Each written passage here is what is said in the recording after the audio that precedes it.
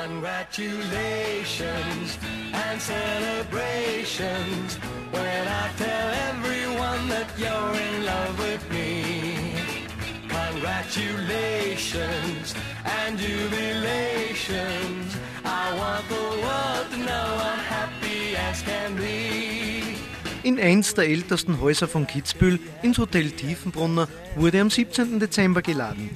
Anlass dazu war die 200-Jahr-Feier, seitdem das Hotel im Familienbesitz der Brunners ist. Zahlreiche Gäste gratulierten und erlebten einen netten, unterhaltsamen Abend mit Rückblick auf die ereignisreiche Geschichte des Hauses. Wir befinden uns heute in einem sehr geschichtsträchtigen Haus, in einem Haus, das heuer 200 Jahre feiert, und zwar im Hotel Tiefenbrunner. Maria, eure Familiengeschichte, Hotelgeschichte geht ja sehr, sehr weit zurück. Auf was oder auf wem basiert eure Firmenfamiliengeschichte? Also die Familiengeschichte basiert äh, seit 1810. Da hat mein Stammvater, der Josef Steiner, den Tiefenbrunner vom Tiefenbrunner Martin abgekauft. Daher, wenn ich das kurz erläutern darf, der Name Tiefenbrunner kommt von der Familie Tiefenbrunner aus Kössen, die Bierbrauer gewesen sind und die damalige Brauerei, Gasthaus gekauft haben. Ich glaube 1690 ist das gewesen und das dann bis 1810 geführt haben. Und dann ist der Josef Steiner von Mittersill gekommen und hat den Tiefenbrunner gekauft. Der ist verheiratet gewesen mit der Anna Dankel und hat dann eine Tochter gehabt, die Anna, die dann einen Schlechter von St. Johann geheiratet hat, der unter anderem auch einmal Stangelwirt gewesen ist. Und äh, geht die Geschichte weiter? Die haben dann einen Sohn wieder gehabt, den Jakob Schlechter, der verheiratet gewesen ist mit jemandem aus Bayern, die allerdings dann wieder zurück nach Bayern hat müssen, weil es keine Kinder haben können. Und dieser Jakob Schlechter dann mit der Maria Mamoser der Ersten vier Kinder gehabt hat. Einer jedoch ist schon als Kind gestorben.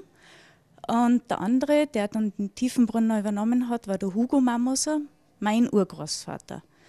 Der war dann verheiratet mit der Maria Putz aus Kirchberg. Die Maria Putz hat dann eben Mamoser geheißen, das war die Maria Mamoser die zweite. Die haben dann eine Tochter gehabt, das war dann meine Oma, Maria Mamoser die dritte.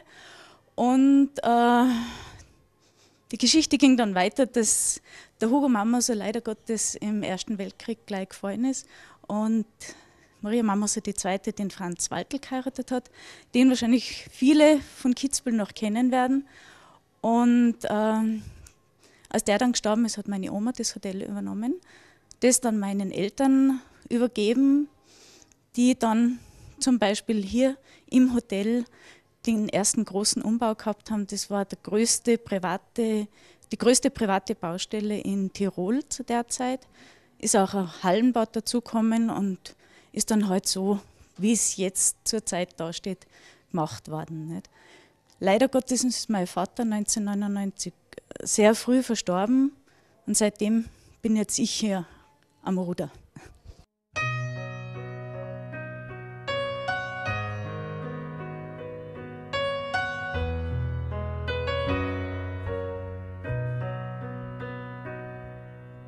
Das ist dein Tag, dieser Tag der Blumen und Lichter.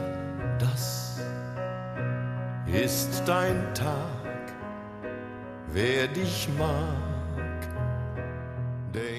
Das heißt, Maria, die Geschichte war sehr bewegt, es hat sich sehr viel getan und besonders interessant finde ich, dass das Haus ja nicht immer nur, unter Anführungszeichen, Hotel war, es war ja auch Post eine kurze Zeit lang, diente als Post. Es war eine Pferdewechselstelle, aber glaube ich auch ganz wichtig, in der Kriegszeit war es ein Lazarett und eine besondere Bedeutung, wie du schon gesagt hast, kommt oder kam der Brauerei zu.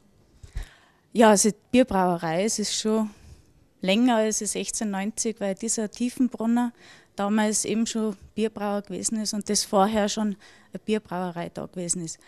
Der letzte Sud ist dann nach dem Ersten Weltkrieg gewesen unter Maria Mamoser II. Äh, und seitdem ist keine Brauerei mehr. Das ist dann der Felsenkeller geworden, den dann unter anderem auch die Brauer gehabt hat. Wir haben allerdings jetzt Huberbier, wo wir sehr stolz sind drauf und ähm, ja, das wahrscheinlich in Zukunft noch weiter haben werden. Und in der wievielten Generation führst du jetzt das Haus, Maria? Ich bin jetzt die siebte Generation. Die achte ist allerdings auch schon beim Zug. Das sind meine Kinder, der Helmut, der Markus und die Theresa. Und ja, ich hoffe, dass das die nächsten 200 Jahre so weitergeht. Der Grundstock von mir ist gelegt.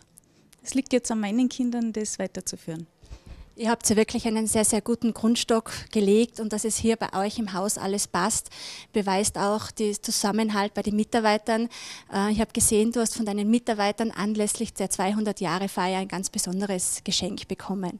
Ja, das ist diese Fahne da, die ich gestern bekommen habe und die mir wirklich sehr freut.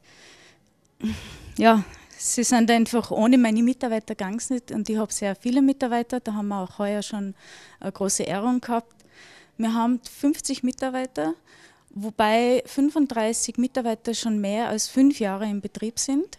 Die haben wir dann natürlich geehrt.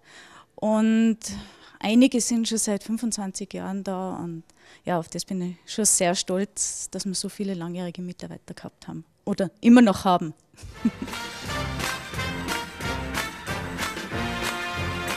Congratulations and jubilations. I want the world to know I'm happy as can be.